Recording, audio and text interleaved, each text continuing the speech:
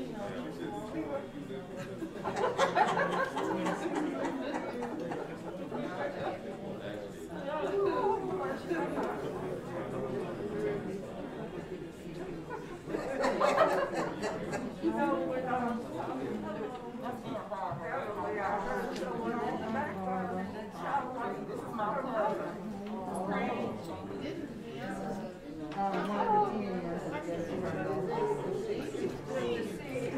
Oh, sorry, last it. I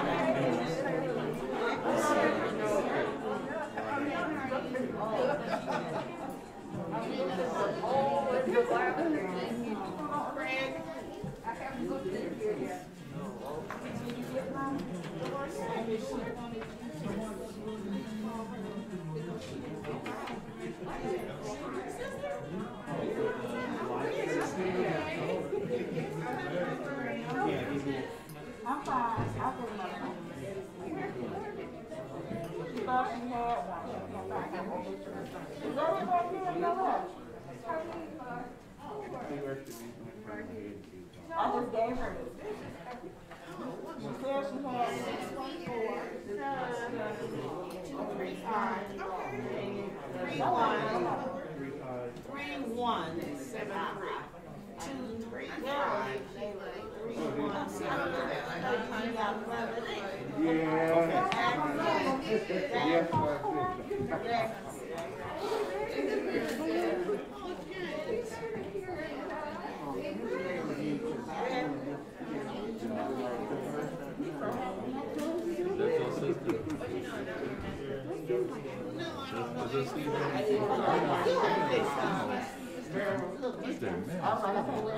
Can't keep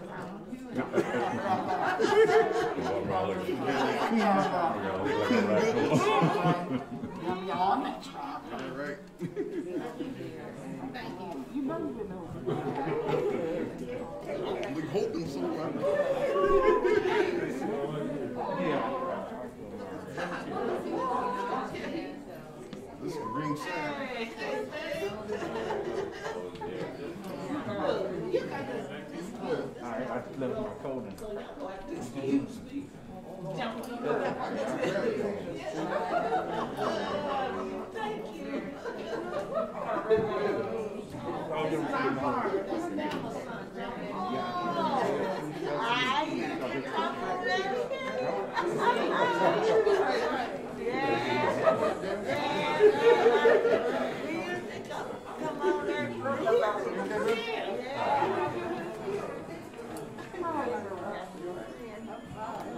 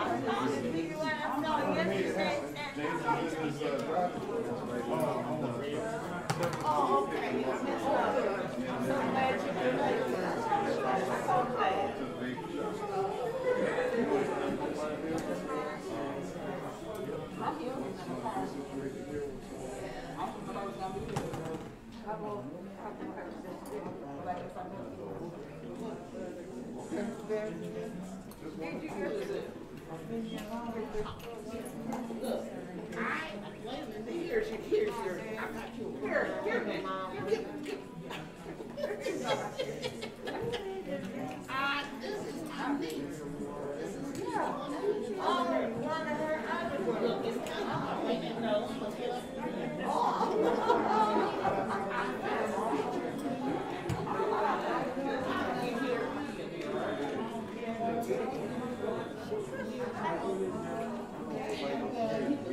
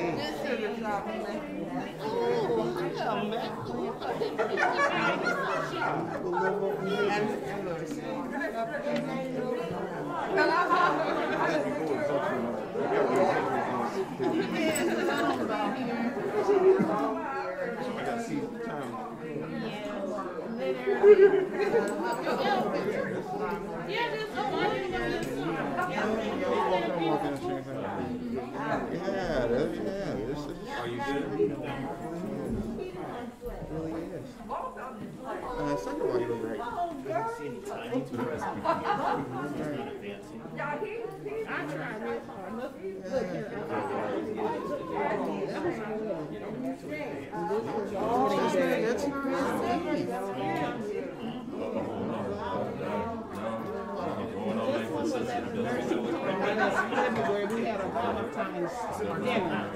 I just don't know how to do it.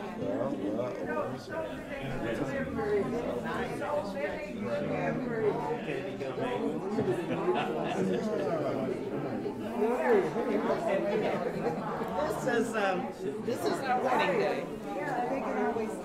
Is our wedding night. We was having a little party. Okay, ready to go to see how the party.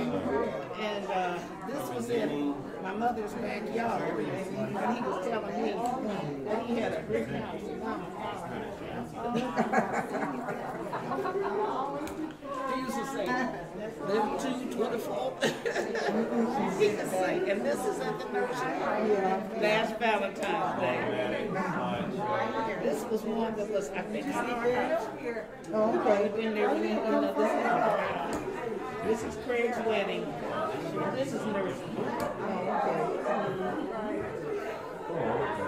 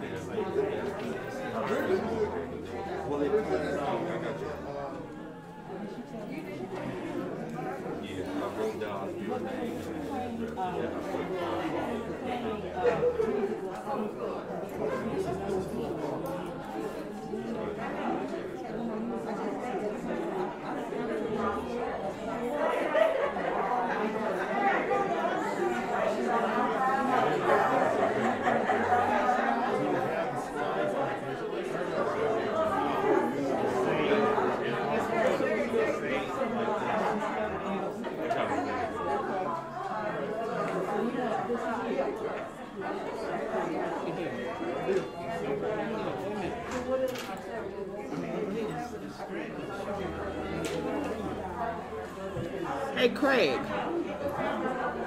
Oh, I'm sorry. Or him. I'm trying to get it this slide. It's been a change in the program. Okay. He's James is going to do musical selection.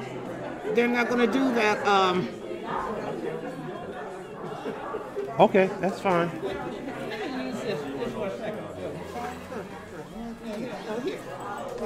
right here, so he'll know. He said he gonna do his tribute to Charles right here. That's fine. So what? Will, and then We'll just have it announced. That's all. musical selection, James Carter. Yeah. Okay. We'll just announce it. Okay.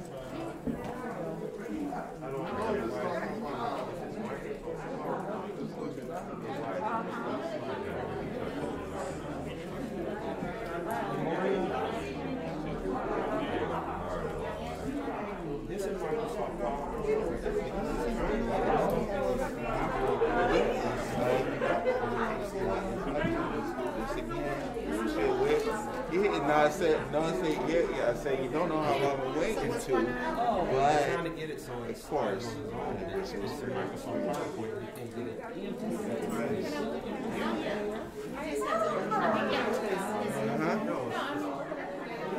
It's just. Uh-huh. I was gonna have it You back. just want the slide to go by itself? Okay. Ask first. Ask first. This is my friend Carol. This is my friend? He's a creative. Yeah, he's got a lot of talent.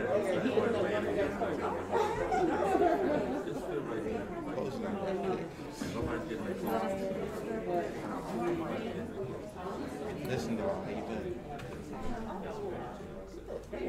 I'm trying to get everything together, trying to figure out what I'm doing. Because I got somebody named there.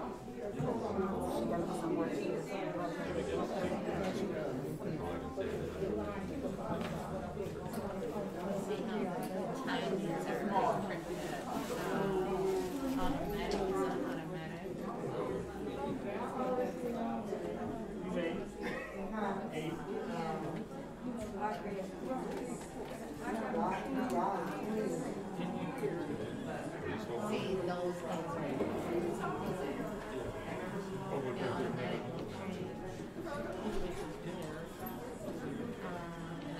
transitions, but that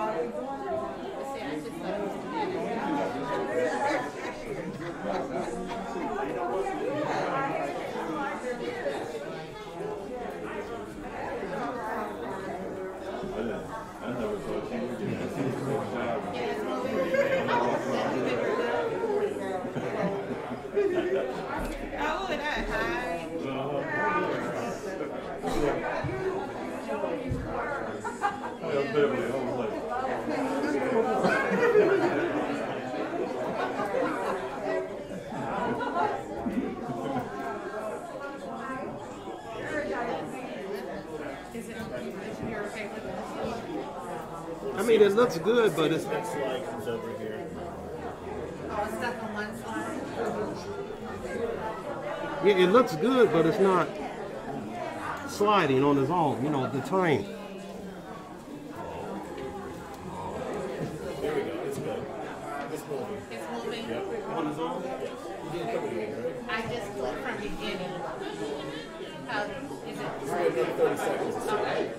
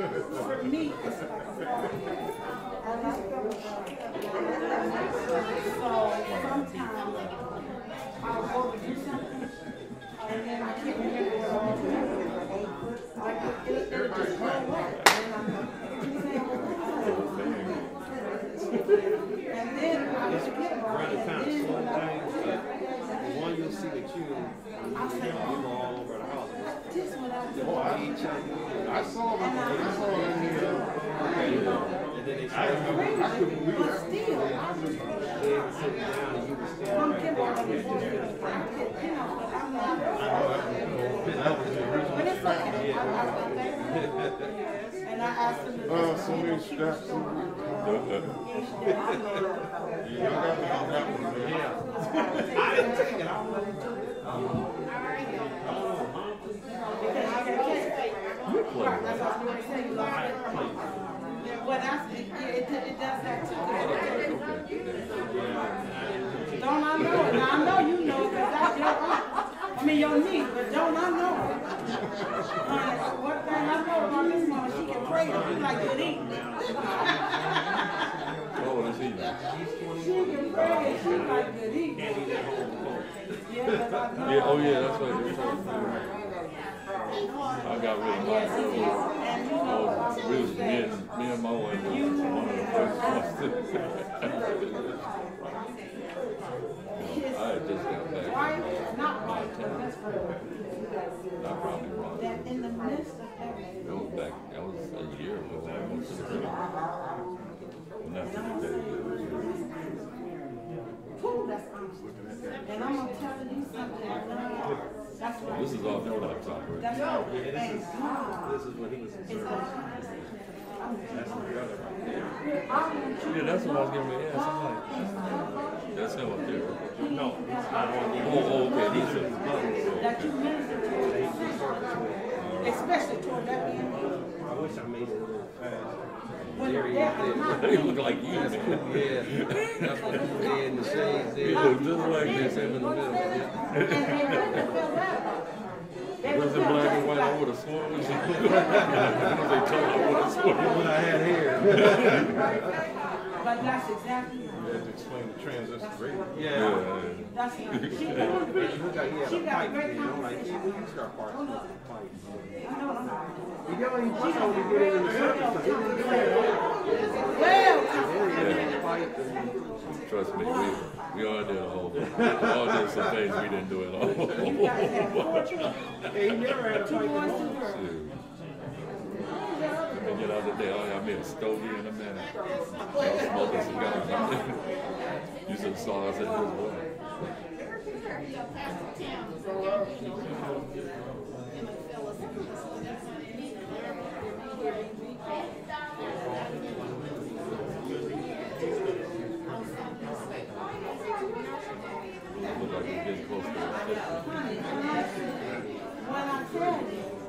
if they was to put, if, if they was to look up Facebook in the rest of this and that, they see you.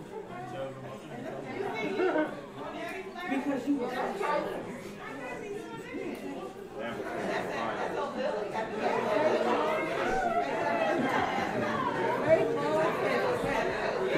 Who's that lady right there? I'm gonna have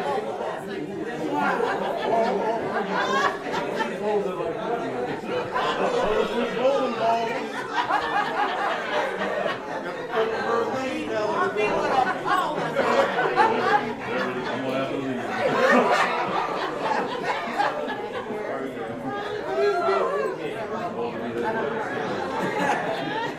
Wow, he was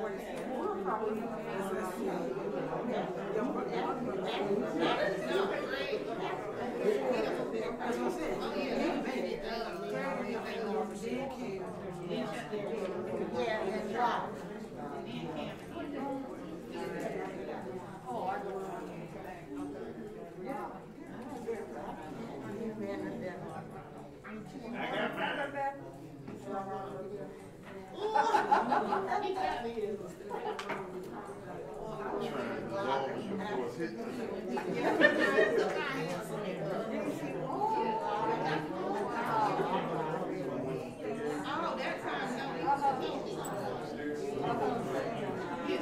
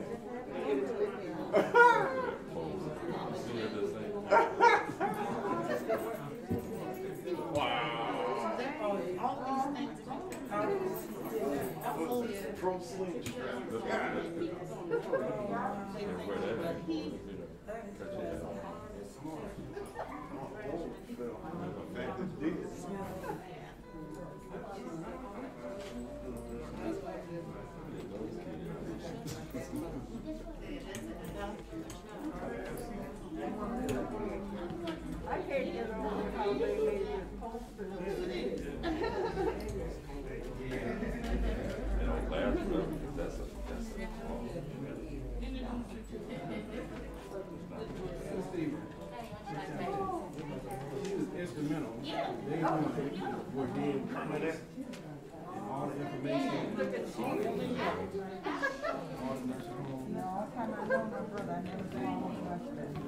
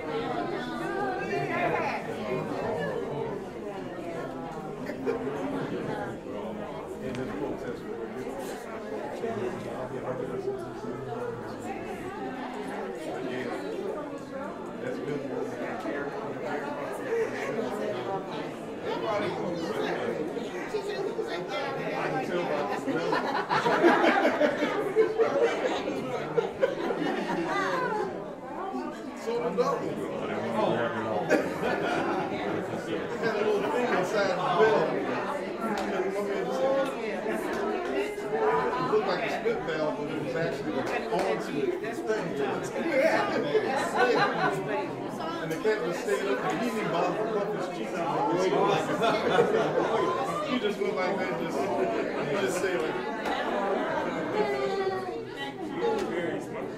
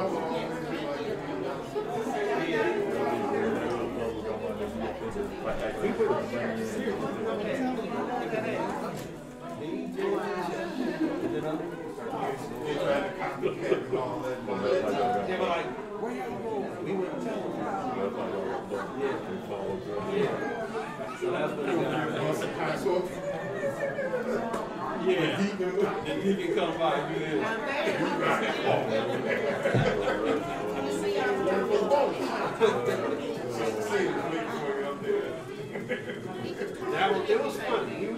We, just laughed. Like, we got to come that's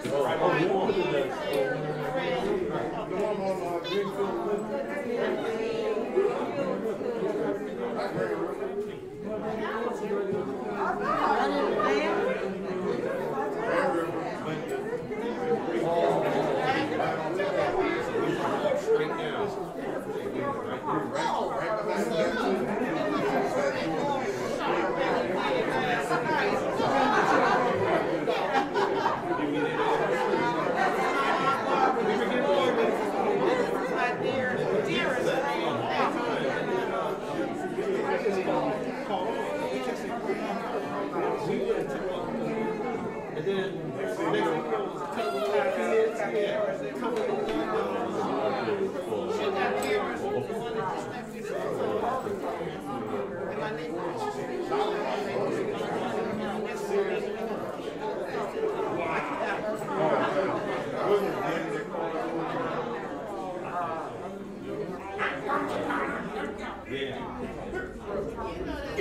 they start, if they start now, he can stay. Yeah,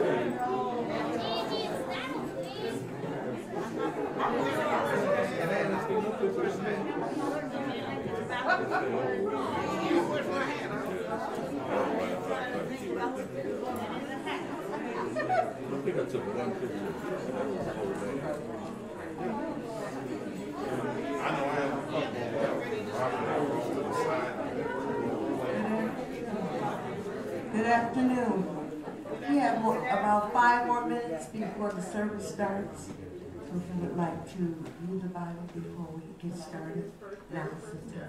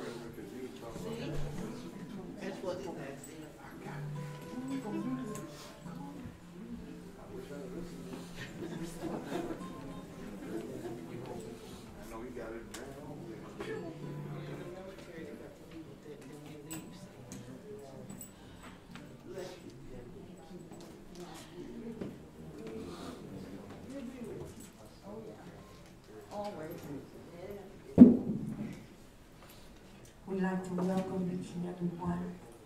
Thank you for coming out for such a time as this. The family truly appreciates your presence, and we are in love with you because you're in love with them. And we're just thanking God that you're here today. For those of you that can stand, stand. But those of you that don't need to stand, just sit right where you are. We're going to have prayer at this time. Hallelujah. Father, in the name of Jesus, we just want you to know how much we love you today. And we're thanking you for the life of Charles Kimbell, what we affectionately call Boss. We ask that you bless each and every family member. Thank you for the blood of Jesus covering each and every one. And we thank you for the joy of the Lord, which is our strength. We give you the honor and glory. In the mighty name of Jesus, we pray. Be seated. Amen.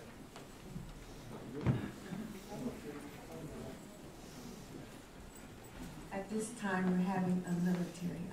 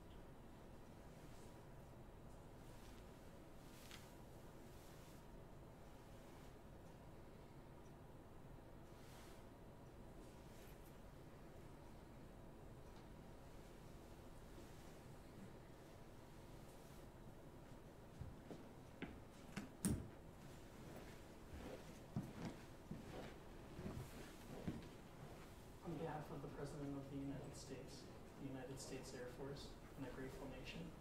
Please accept this flag as a symbol of our appreciation for your loved one's honorable and faithful service.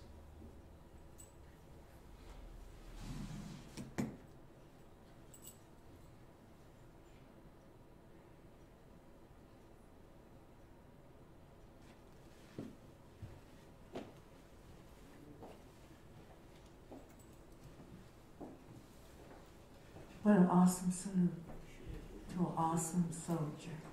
Hallelujah. Why don't we salute Charles right now? Just salute him. Hallelujah, because he's going to a better place. Hallelujah. Now we're going to have the reading of the word at this time.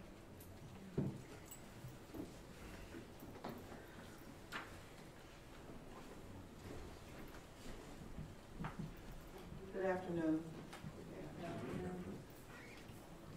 It is my heartfelt sympathy to offer to the family condolences at this time for our father, our husband, our friend, and our loved one, Charles Kimbell.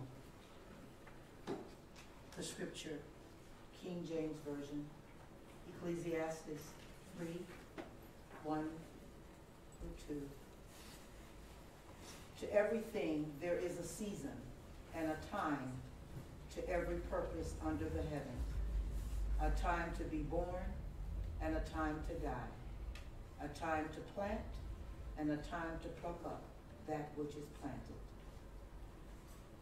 Surely our brother will be missed in the coming days, the coming months, when times are somewhat seeming empty, somewhat seeming lonely, remember the presence.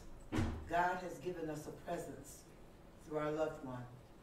In that presence, may God give you peace, may he give you comfort.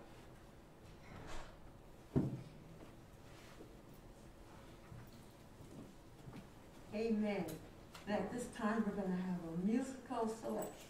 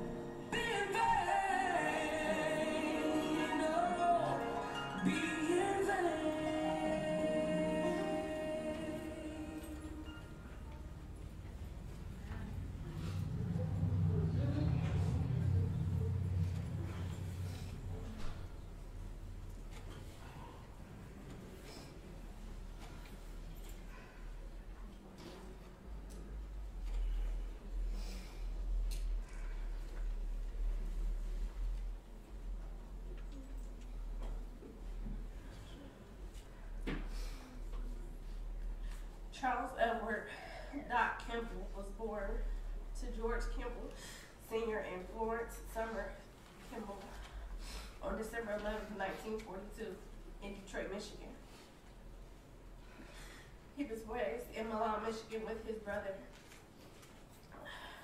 George, by his loving mom, Arnita.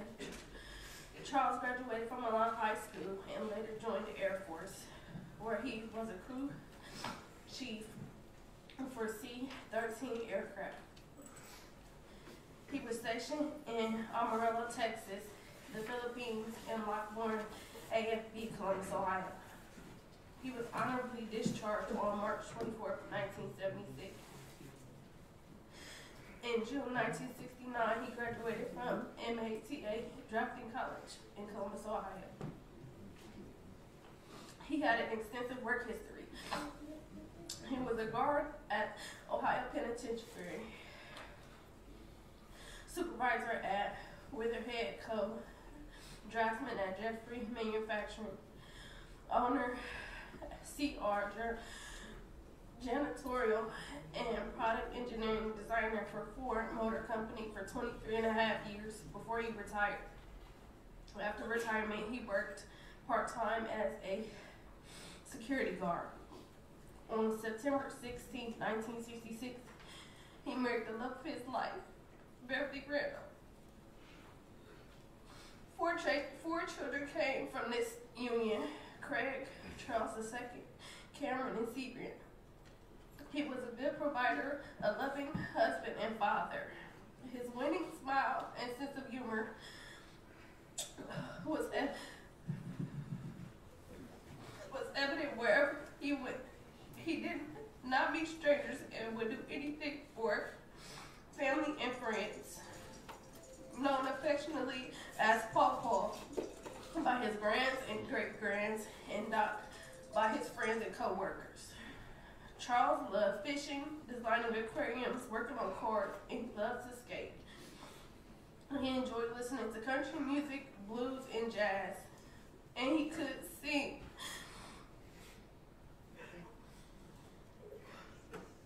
He also man- managed the R&B group Young Underground and was a former police reserve. Charles was a member of the Detroit Unity. Charles is preceded in death by his parent, parents, George, George Kimbell, Florence Whitley, and Arnita Kimbell. He, he leaves to cherish his memory, his loving wife Beverly, his sons Craig and Josie Kimbell, Charles II, Chucky, daughters Cameron Kimbell and Seabrian Del Rico Thomas, six grandchildren Shakira, Max, Emery, and Moria Carrington and Con, four great grands Amora, Christopher, Cameron, and Kyrie, brothers George and Curly Kimbell, Biff Stars, sisters Chiquita Brown, LaDon, Lindsay, Diane Kimbell, mother-in-law Ruth Jones, special aunt Barbara Allen, special friends Mahir and Daima Mayan, Thelma Heights, Charles Thomas, and the Old Guys Luncheon Group. He will be deeply missed by all who love and miss him. The family of Charles Kimbell would like to express our grat- gratitude for the expression of love and sympathy received in our loss. Thanks also to Manor of Novi and Dr. Nas Yu.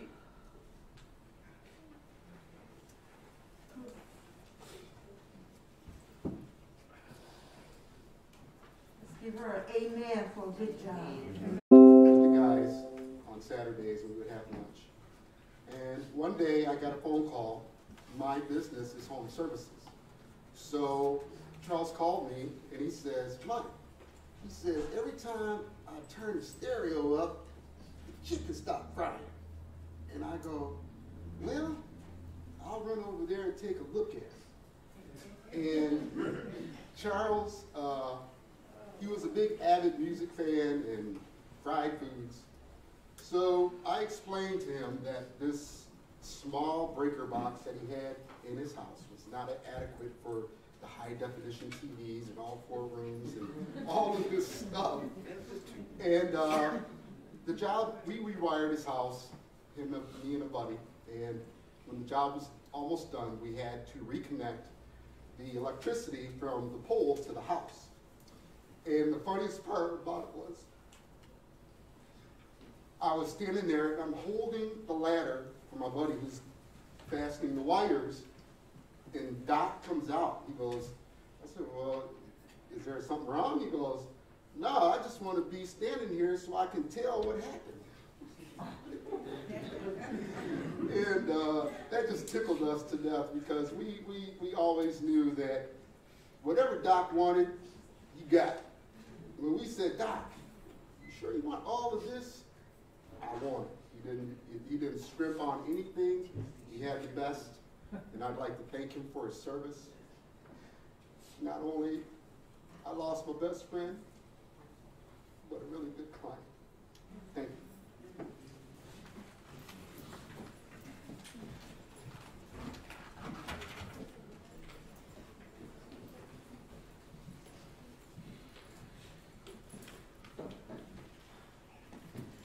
You guys call him, you guys called him Doc, you guys called him Charles. My sister, my mother and I, we called him Bunny. He was our little bunny. He was always hopping around getting in trouble. Once he climbed a picker tree with his sister, not me, the other sister. She got down, he couldn't get down because of all the pickers. He's out there crying. Right, came out there and said, good enough for you. You got up there and I told you not to get up there. You got up there anyway. So now you figure out how to get down. Well, he figured out how to get down. But he learned a lesson too. But he was a mischievous little boy. I was the youngest. He liked to pick on me. He couldn't pick on anybody else. I was defenseless. so he picked on me. And uh,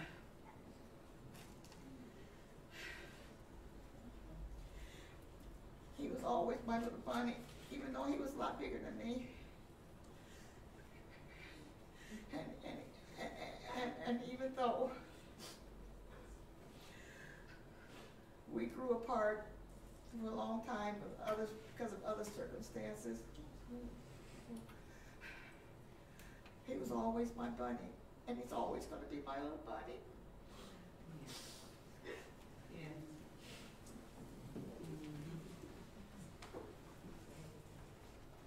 Anyone else?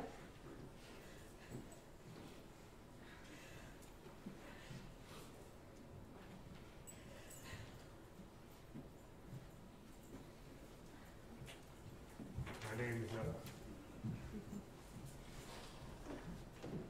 my name is Dan. Uh, I street from Charles. He moved over there, the first day me and him hit it off right away. Cause I looked over there and even the grass was this high. He was out there trying to cut the grass and I told him, it's hundred degrees, man, why don't you just, you know, wait till the next day when it cool down. He said, no, man, I'm just, I'm going ahead and take care of this right here today. But we invited Charles over to our house. It was like the Fourth of July, and after that, we hit it off real good. I'm just gonna tell you a couple stories. One day, me and Charles was out drinking together on my porch. And every time he got ready to go home, he'd take two steps forward and then take three steps back. I said, you all right, man? He said, yeah, I'm okay, I'm okay. So as soon as he got in front of his house, he took about three more steps forward and four more steps backwards. so I suggested to him, why don't we just go backwards up to the top?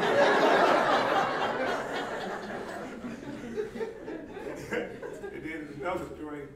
It was the fireworks, and everybody was out there popping the fireworks. And as everybody got to popping the fireworks, all of a sudden, sounded like we heard uh, round of fire going off in Charles' backyard. So he come from the backyard. I say, Charles, is everything okay? Sound like you was popping firecrackers.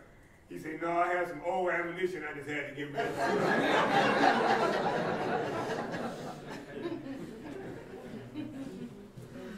Anyone else?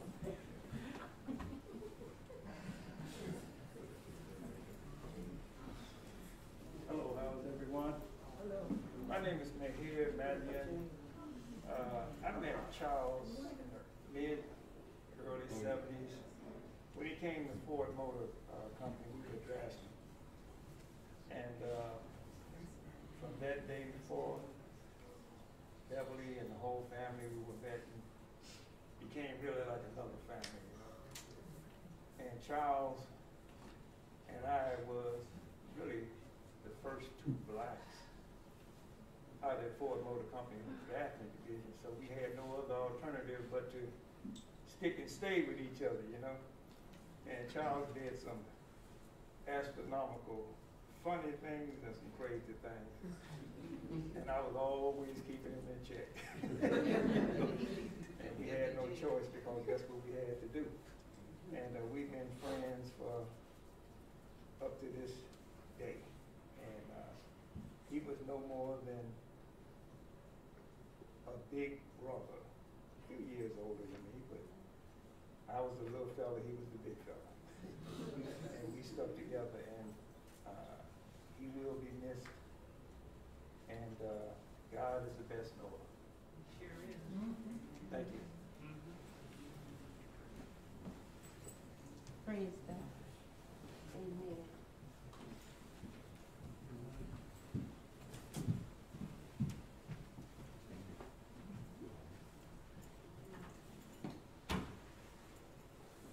Uh, Hello, everyone. Um, They say if you really want to know a person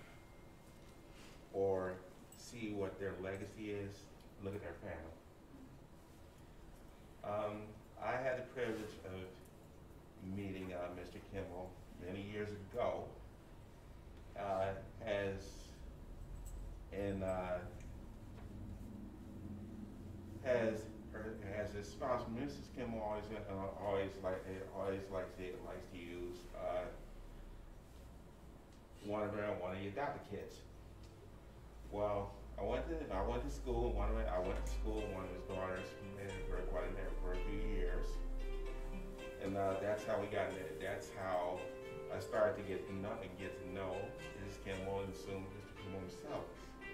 Um, the one thing that uh, comes out for me is that uh, one thing uh, he, he that when they say that uh, he he a real humorous uh, sense of humor about him and all that stuff, uh, it's really true. But I know one thing he doesn't care about his family.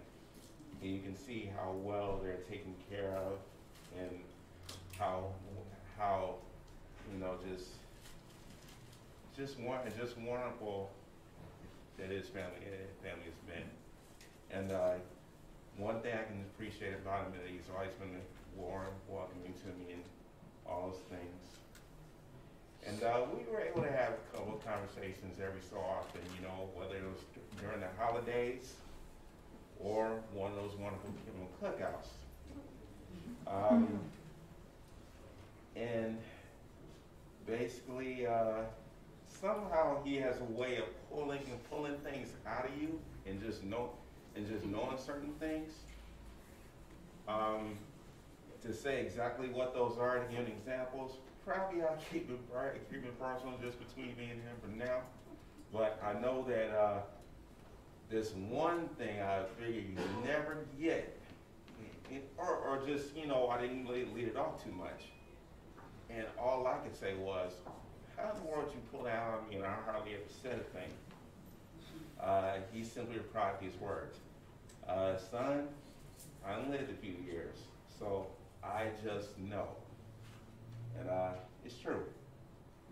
But um, that's it. That's the thing. He uh, he's genuine, and that's how that stuff can really come off. Um, closing. Uh, I was just looking at this to, just looking at this today, and uh, it came up in my user. It came up in one of my devo- uh, devotion notifications, um, from the book of Isaiah, chapter 25, verse 8.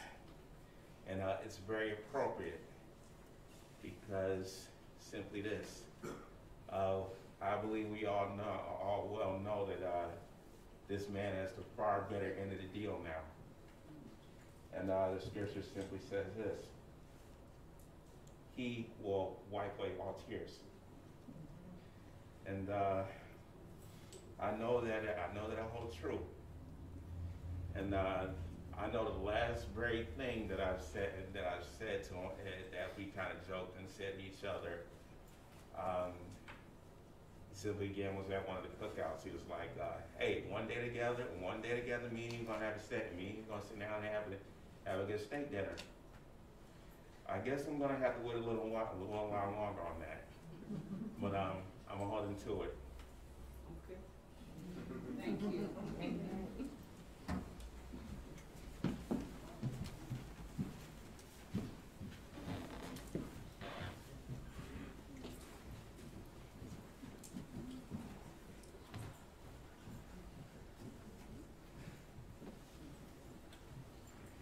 Hi, everybody. I'm Jakita, the sister next to him. And can you hear me? No. Oh, I'm sorry. Okay, I'm Jakita, the sister next to him. Is this on? And, uh, we were close, we were very close all the time. I never had any trouble out of Bunny. I called him Bunny. And, uh, except for one time, we disagreed in my great aunt's yard, and we lived in Arizona. And we were out there having our disagreement and trying to knock each other out. and my aunt came out and said, you don't fight your brother or sister. And she had an extension cord.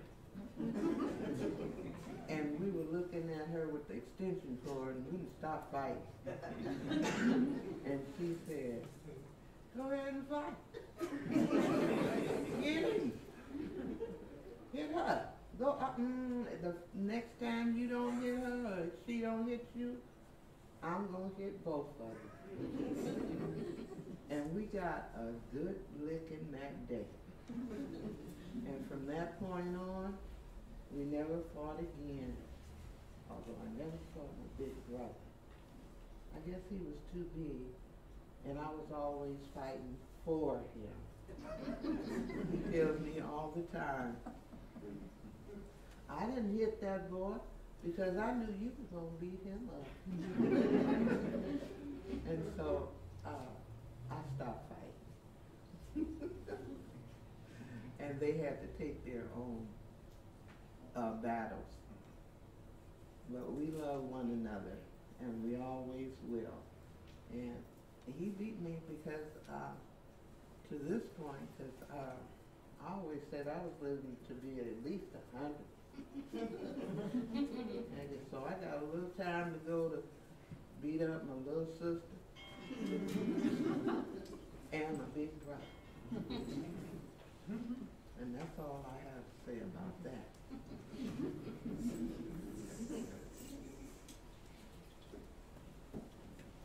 Amen. I'm gonna take this privilege because I know this young lady has something to say. Because I know she's a talker. What you got to say, man?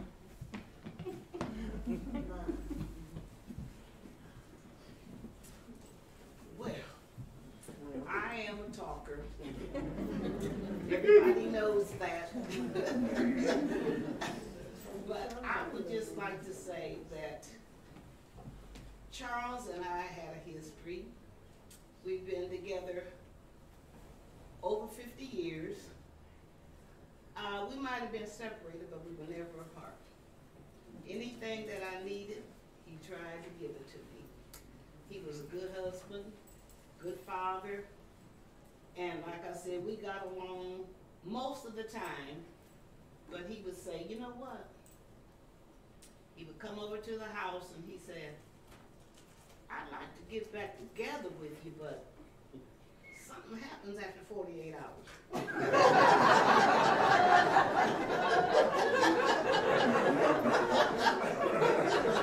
Something happens after 48 hours.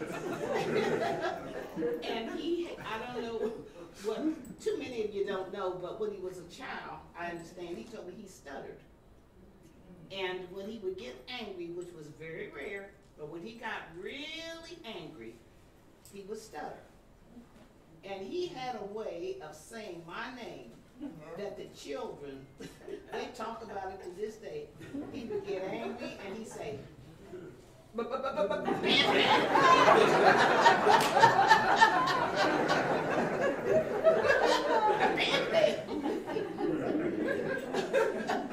like I say, those are the memories that I have of him. Um, few bad ones, but most of them were, you know, were good. And I really will miss old fat head.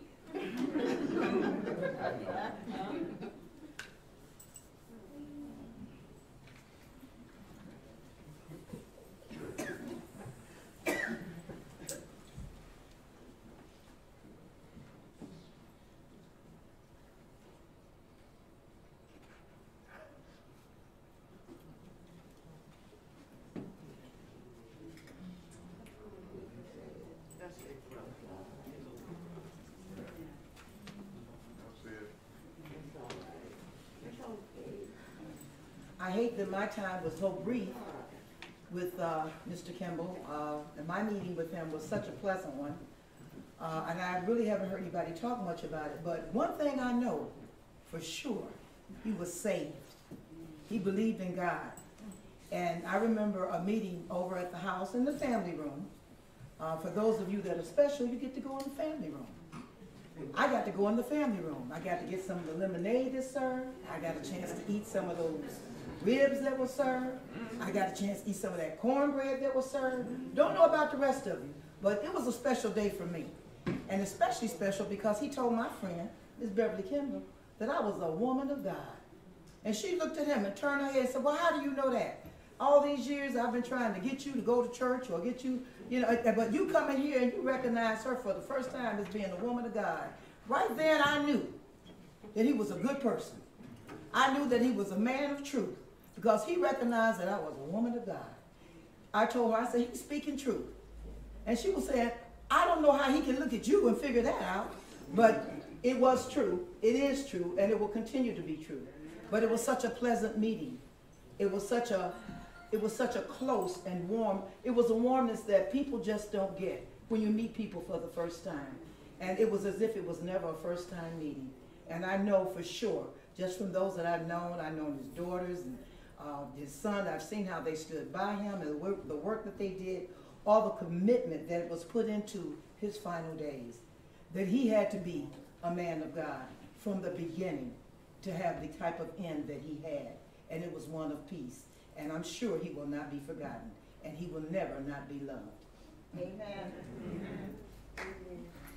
At this time, we have to close out, close out at this time, um, the testimonies, and we appreciate each and every one. And of course, you can tell that Charles is so loved, hallelujah, the joy of the Lord is his strength. And if I were to have a word today, the word that I would have is can two walk except they agree. Found in Amos 3 3. And when I looked out among the family and the friends, I said, What a fellowship. What a joy divine. Leaning on the everlasting arms. Hallelujah. And this is a family, I know it's a praying family. Hallelujah. Because I, I heard a couple of them prayers from, from the siblings, the mamacita. And I'm telling you, Charles is always jovial uh, when I would come over there. And uh, I would just think about the good times that they've had. And I, you know, I want to remind everybody to silence their phones like they're going off. Um, but we want to thank the Lord for the life of Charles. What a friend we have in Jesus. And you know, when you have a friend in Jesus, you can easily be friends with other folk.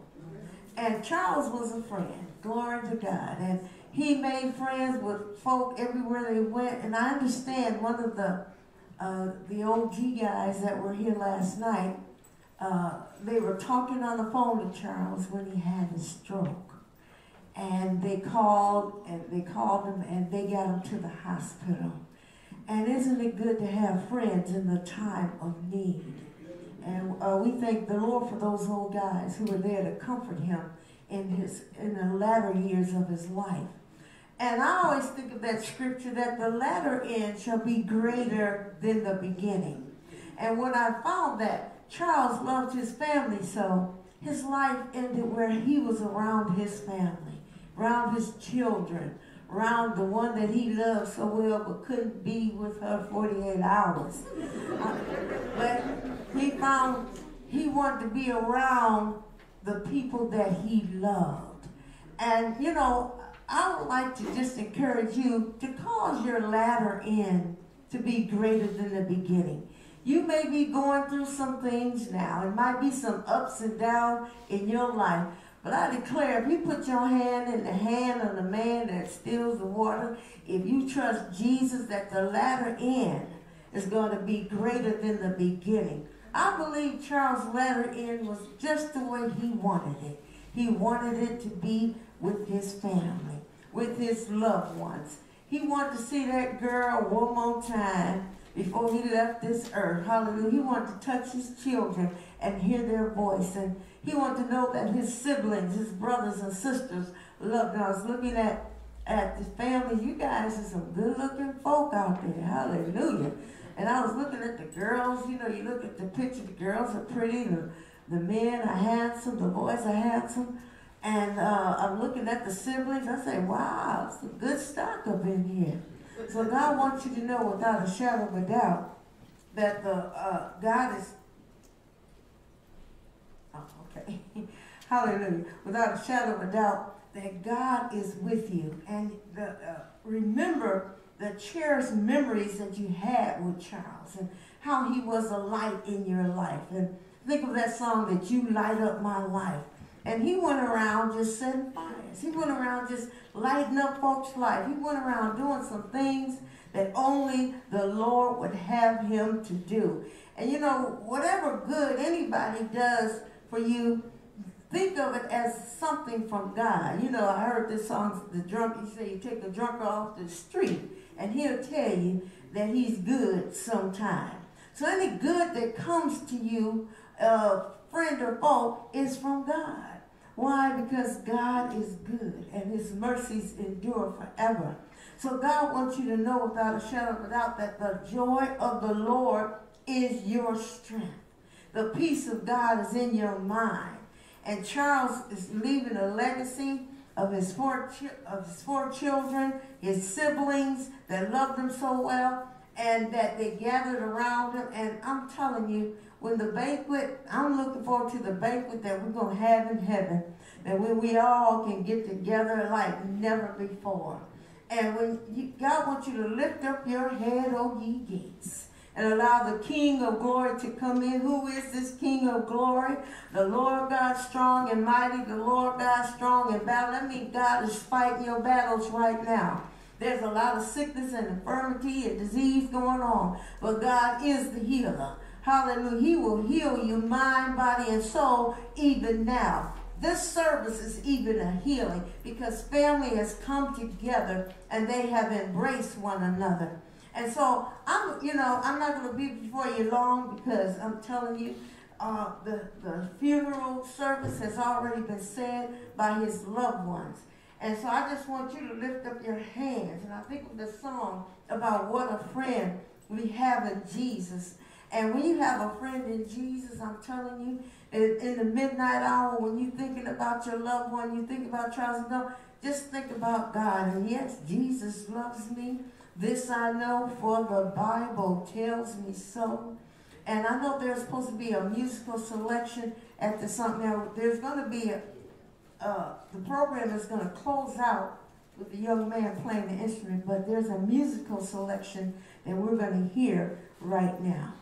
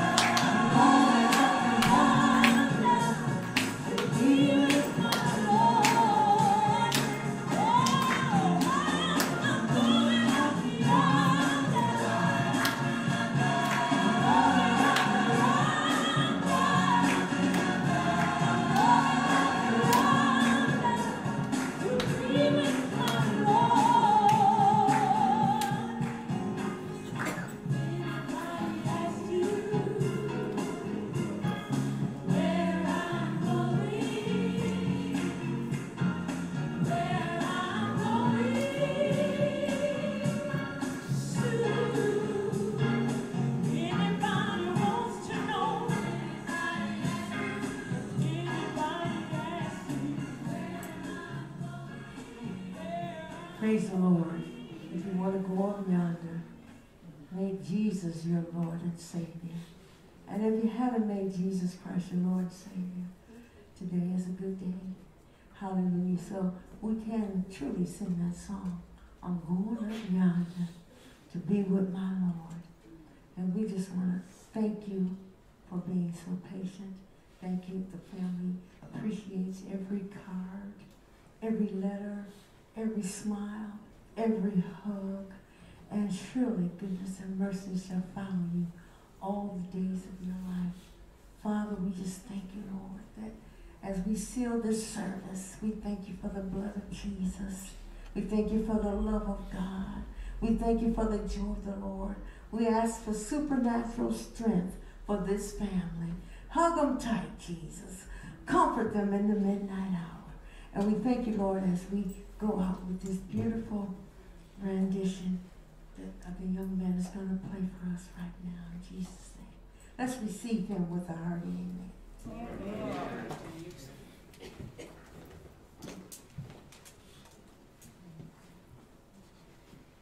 Good afternoon. Good afternoon.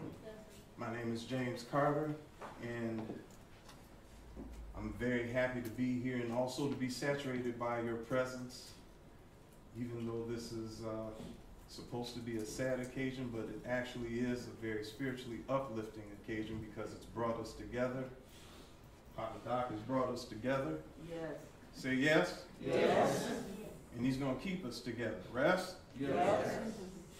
So to that end, I want to thank the Kimbell family for me being an honorary cousin, and uh, I can't even say honorary. We I can't even think of when we haven't known each other, you know. And uh, all the times over at Fullerton, and uh, being able to be in that back room, and um, oh man, that don't get me started, because I should have been up there getting hooked on phonics with the rest of you all, with the testimonies and stuff, but I was looking at a couple pictures that I haven't seen where um, I had my old saxophone strap on, and I, I kind of remember while I was looking at that where um, Papa Doc said, "Hey, you kind of getting good on that thing, ain't you, boy?" you know, I had to hire you out one day, and I, I just just remember that from looking at that picture um, that was there, and the one that's also uh, still that's in the obituary. But uh, like I said, I'm not going to get too hooked on phonics here. I'm going to send this one up to Papa Doc and the fam, and uh, may we all continue to go in peace and be blessed and unstressed. And we're going to get through this COVID mess, right? We're going to keep it together in the process.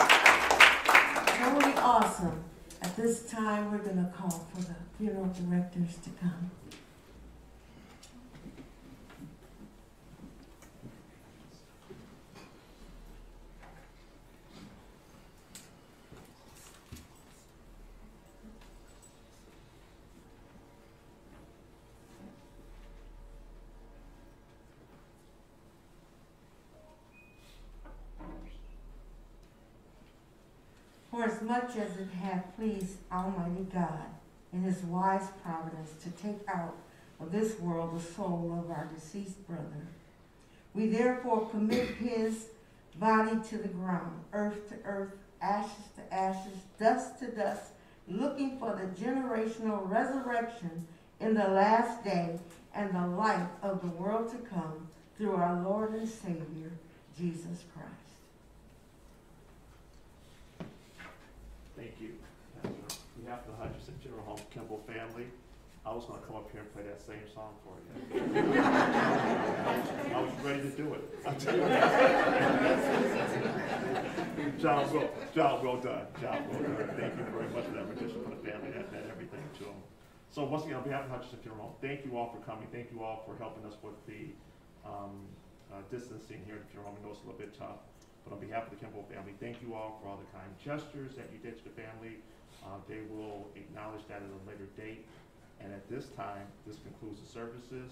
Once again, we appreciate all of you all coming out. Thank you very much. Thank you. Thank you. You are a job well done. Thank you. Thank you.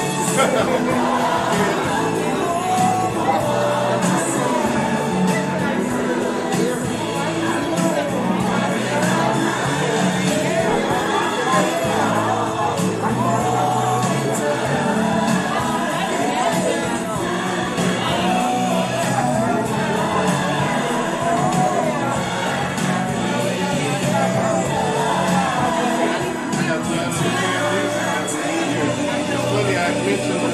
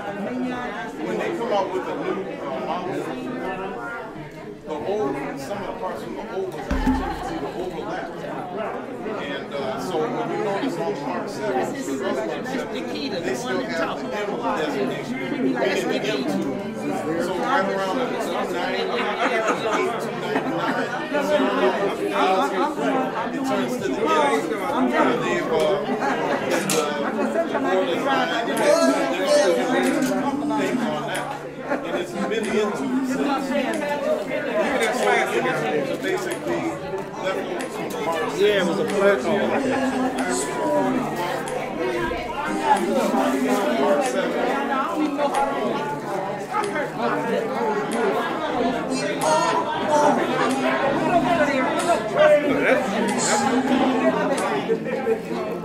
That's what it is.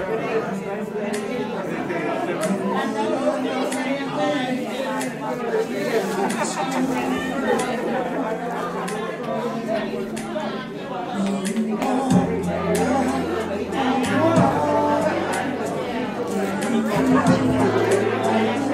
you so much.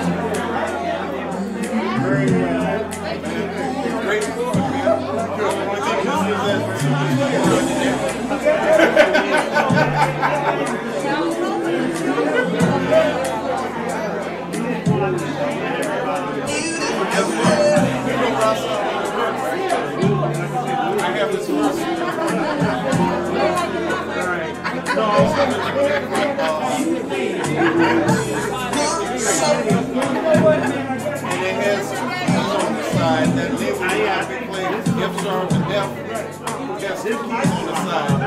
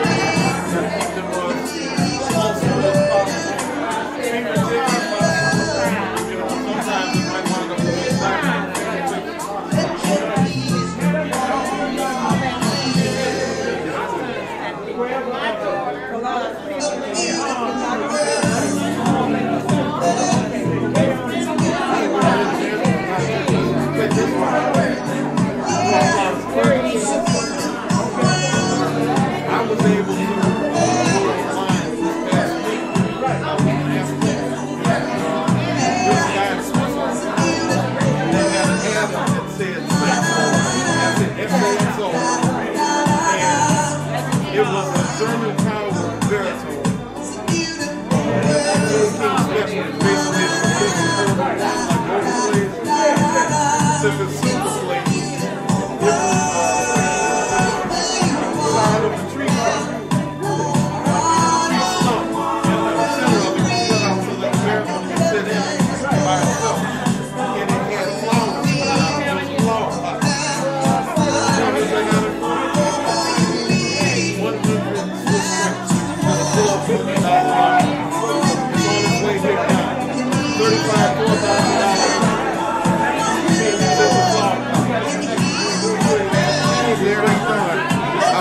your daughter. She said, I don't know you. I said, I know who you are.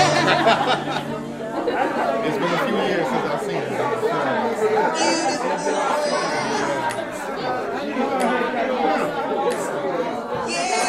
You did a great job. I know it was hard. That's it. Like, like baby face though. You're gonna always have that. That's the. Yeah. I just got this one. Yeah, then you see you got 30. Five months. So it matches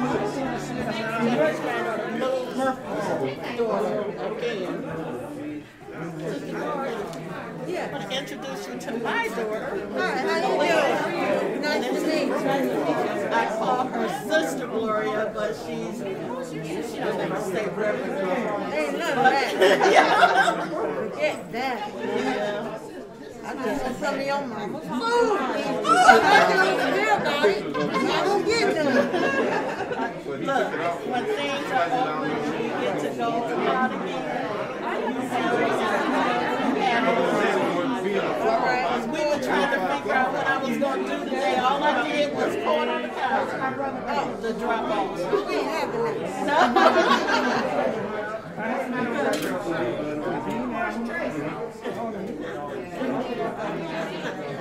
I'm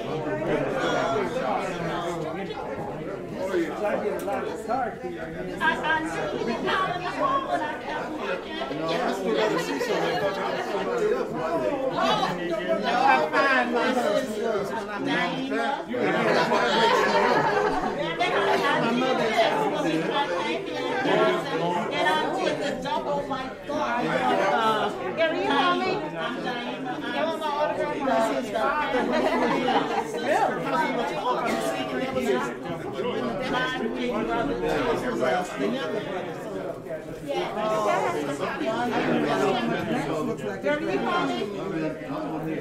This Tracy, come here, somebody. This oh, is oldest brother. Brother George Embry. He's coming.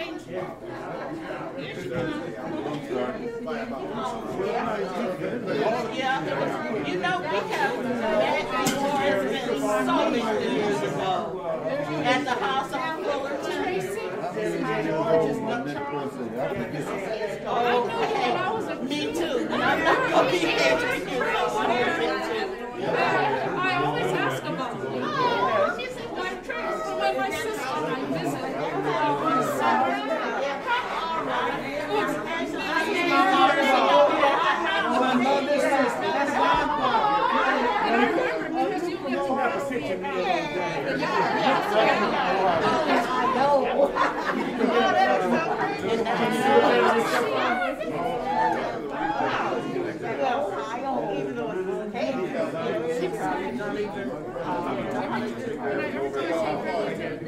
I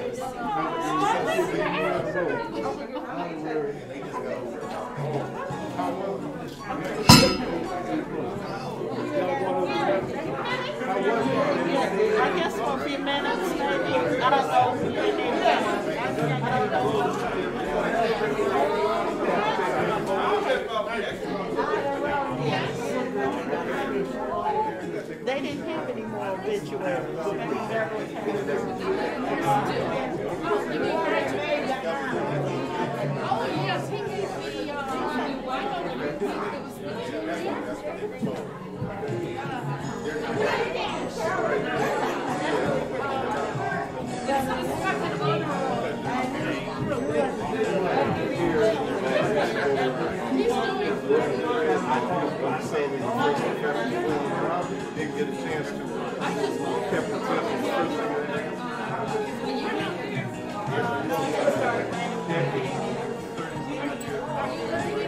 in three, but it's not that.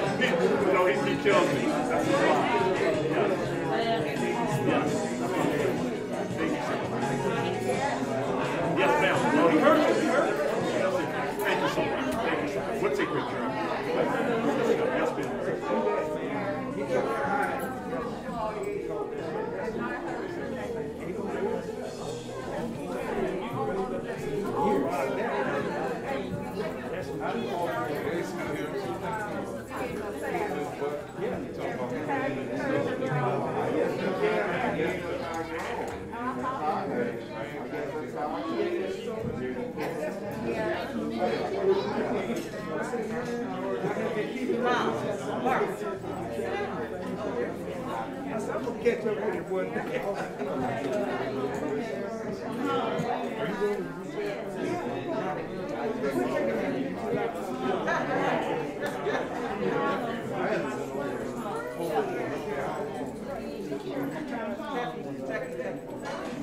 Full scholarship. Yeah, you know, and that was my joy, just travel around with Sonny.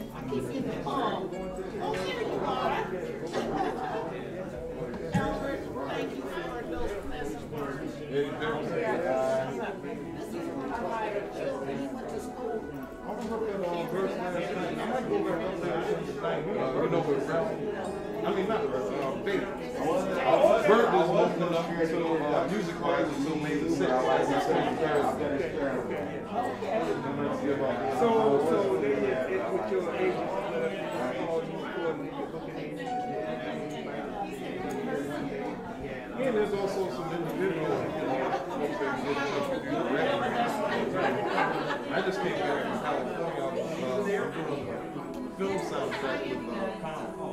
Oh, really? Oh, man. It's this flick called, uh, Alice.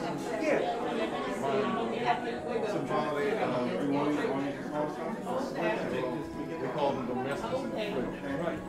Domestic named Alice. Mom, I'm gonna take this to you. Uh, along with the other domestics in that, uh, that city, uh, it's like a little city. Right, right. Didn't know anything about modernization. They still thought it was eighteen hundreds and you didn't find this out until like three quarters of the way through the flick, she ran away. And ran all the way up to uh, Ohio. Okay. Didn't know that it was like concept right here. Oh man, that's So when she didn't know about the Emancipation Proclamation, Malcolm Marcus, you know, so there was this whole montage where she got the mic. Incredible job. I'm trying to keep it happy. Thank you. And she got the mic and they were crying and covering like that. And then she said she had to go back and get the rest of it. Went back and got the rest of it. That's amazing. That's amazing. And turned the tables on the, uh, on the, uh, right Okay. It's good to see you. You don't remember me? You hear? Oh, yeah. Need friends. How you doing? I didn't get a chance to holler. I have been asking about you over and over, keeping up with you, whatever, me and Melvin or whatever, and I say, wait till I see her. Here you are. Yeah, I'm still, I'm still bumping around here. Well, we had some beautiful days, you know.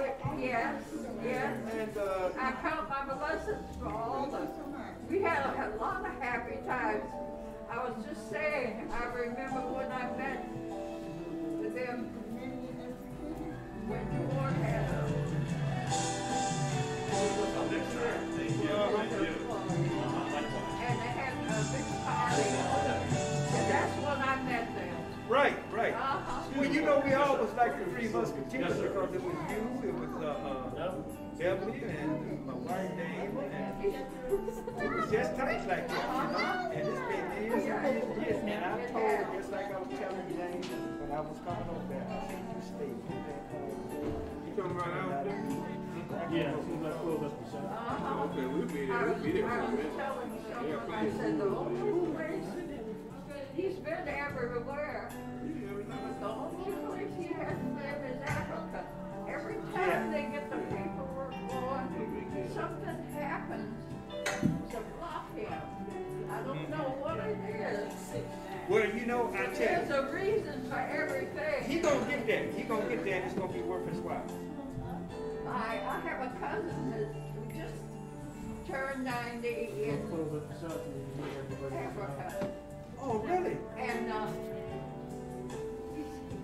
he's been trying to get there to perform in the area where she lives.